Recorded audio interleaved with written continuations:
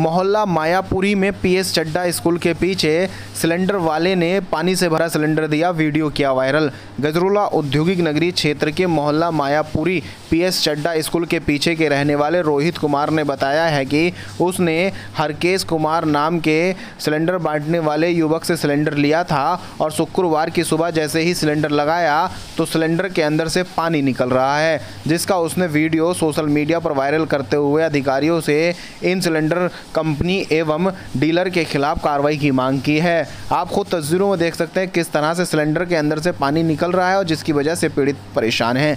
एक तरफ़ तो रसोई गैस के दाम इतने बढ़ गए हैं कि लोगों को काफ़ी दिक्कत और परेशानियों का सामना करना पड़ रहा है। दूसरी ओर सिलेंडर बांटने वाले लोगों की वजह से अब उपभोक्ता भी परेशान हो रहे हैं। आप खुद तस्वीरों में देखिए किस तरह से सिलेंडर के अंदर से पानी निकलता नज़र आ रहा है।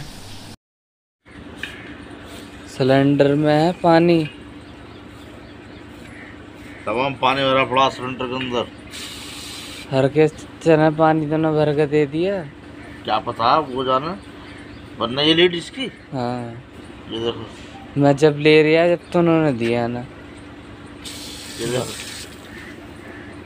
अनिता देखिए सिलेंडर में पानी। नया सिलेंडर में। ये ले। पानी भर के दे गया। वीडियो बना रहे हैं। वीडियो रील बना रहे हैं? अरे वीडियो रील बन रही है। ये देख, पानी भरा पड़ा, पूरा सिलेंडर में, ये देख। ये देख।